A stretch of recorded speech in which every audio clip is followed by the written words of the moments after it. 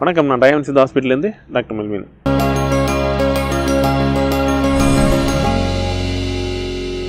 நம்ம இன்னைக்கு spinal cord அதோட முக்கியத்துவத்தையும் அதில் வரக்கூடிய பிரச்சனைகளை பற்றியும் நம்ம இன்றைக்கி பார்க்க போகிறோம்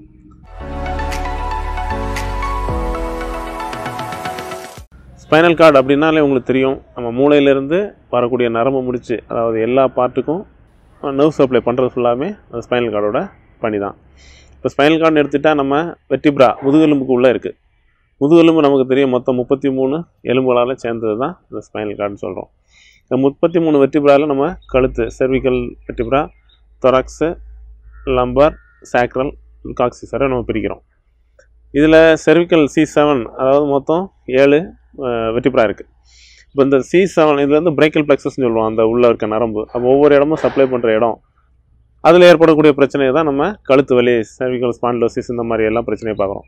முதல்ல இந்த மாதிரி ஸ்மைல் காலில் வரக்கூடிய பிரச்சனை எதனால் வருது அப்படின்னு நம்ம பார்க்க போனால் இன்றைய காலில் லைஃப் ஸ்டைல் நம்ம சொல்லலாம்.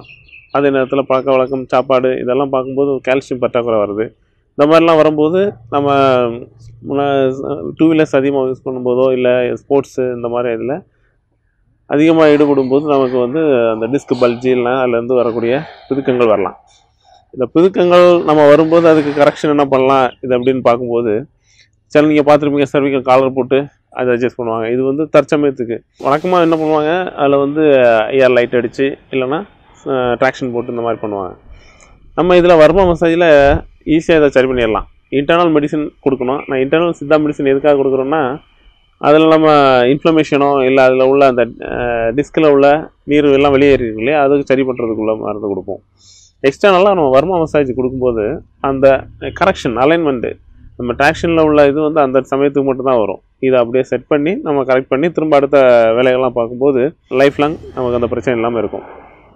அடுத்து நம்ம கீழே வரக்கூடிய lumbar L four L five இந்த ஏரியா தான் நீங்கள் ஒரு தொண்ணூறு சதவீதத்துக்கு பிரச்சனை நம்ம பார்க்கலாம். முதுகுவலின்னு சொன்னாலே அந்த எல் ஃபோர் எல் ஃபைவ் ஏரியாவில் தான் இருக்கும். மோஸ்ட்லி சிசேரியன் லேடிஸ் அவங்களுக்கு வந்து எல் ஃபோர் எல் ஃபைவ்ல நம்ம லம்பார் பங்க்சர் பண்ணுவோம் சிசேரியன் பண்ணும்போது. அந்த பெயின் கூட ரொம்ப நாள் இருக்குது அப்படின்னு ஃபீல் பண்ணுவாங்க. அதில் அந்த ஏரியா ஒரு ஜென்ஸாக இருந்தால் வண்டி ஓட்டும்போது இந்த மாதிரி வரக்கூடிய பெயினே அதில் தான் வரும். எல் ஃபோர் எல் ஃபைவ் எதுக்குன்னா மேலே உள்ள அவ்வளோ வெயிட்டையும் அந்த ஜாயிண்ட்டு தான் தாங்கி கீழே எல்லாம் கொண்டு போகலாம் அந்த இது வந்து மோஸ்ட் ப்ராப்ளம்லாம் நமக்கு அந்த ஜாயிண்ட் அடிவாங்க இதுக்கு என்ன பண்ணலாம் அப்படின்னா ஒவ்வொரு மருத்துவத்துலேயும் ஒவ்வொரு முறையை கடைபிடிப்பாங்க. நம்ம என்ன பண்ணுறோம் அப்படின்னா முதல்ல எந்த பிரச்சனை வர காரணம் உடம்பு ஹீட்டில் உள்ள மேக பிரச்சனை. ஏன்னா எல்லா வண்டி ஓட்டுறவங்களுக்கு வராதில்ல. இந்த மேகச்சூடு அப்படின்னு நம்ம சொல்லக்கூடிய ரீப்ரொடக்டிவ் ஆர்கனில் வரக்கூடிய சூட்னால அந்த டிஸ்கில் உள்ள நீரெல்லாம் வெளியே போகும் அந்த மாதிரி வரவங்களுக்கு நம்ம முள்ள மருந்து கொடுத்து வர்ம மசாஜ் பண்ணும்போது அதோட எஃபெக்ட் நல்லாயிருக்கும். ஆனால் என்னால் என்ன பண்ணுவாங்க? மசாஜ்னால் நீங்கள் ஐடியா மட்டும் சொல்லுங்கள் சார். நாங்கள் பார்த்துக்குறோம். இல்லை வீட்டிலேருந்து மருந்து ஏதாவது கொடுங்கன்னு. எங்களோட அட்வைஸ் என்னென்னா தங்கி தான் ட்ரீட்மெண்ட் எடுக்கணும். ஸ்பைனல் கார்டை பொறுத்த வரைக்கும் நம்ம உள்ளவையும் மருந்து எடுக்க வேண்டியிருக்கு வெளியே பண்ண வேண்டியிருக்கு. என்ன ஒன்று ரெஸ்ட்டு கண்டிப்பாக தேவை. வெளியே வீட்டில் இருந்து மட்டும் எக்ஸசைஸ் பார்த்துக்கலாம்னா நீங்கள் முதல்ல எல்லாம் சமாளித்து முடிச்சு தான் கடைசியில் பெயின் மாறுது எதுக்குமே அடங்க மாட்டேங்கன்னு வராங்க. ஆனால் இனிஷியல் ஸ்டேஜ்லேயே இந்த இதெல்லாம் நம்ம கரெக்ட் பண்ணி அதை ரெகுலேட்டாக நாங்கள் சொல்கிற அட்வைஸ்லாம் ஃபாலோ பண்ணும்போது இந்த பிரச்சனை இனிஷியல் ஸ்டேஜ்லேயே நம்ம தடுத்துடலாம். இதுக்கு ஆரம்பத்தில் என்ன அறிகுறி அப்படின்னா கால் நடக்கும்போது பெயின் வந்து முதுகுலேருந்து கால் பெருவரல் வரைக்கும் ரேடியேட் ஆகலாம். சிலருக்கு கால் உழையலாம் ஆனால் காலில் எந்த பிரச்சனையும் இருக்காது. கழுத்து நேரத்தில் நம்ம ஷோல்டர்லலாம் பெயின் வரும். ஷோல்டர் கை எதுவுமே அசைக்க முடியாது. சிலர் லெஃப்ட்டில் மட்டும் ஹார்ட் அட்டாக் மாதிரி எங்களுக்கு சிம்டம் இருக்குது அப்படின்லாம் சொல்லுவாங்க. அந்த மாதிரி சிம்டம் இருந்தாலும் இந்த மாதிரி பிரச்சனை வரும்.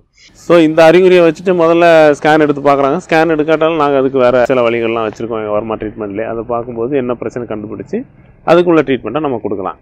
மேலும் இந்த தண்டோட பிரச்சனை என்ன இது இருந்தாலும் அதில் உள்ள சந்தேகங்களுக்கு நீங்கள் எப்போ வேணாலும் எங்களை தொடர்பு பண்ணி சந்தேகத்தை கிளியர் பண்ணிக்கலாம்.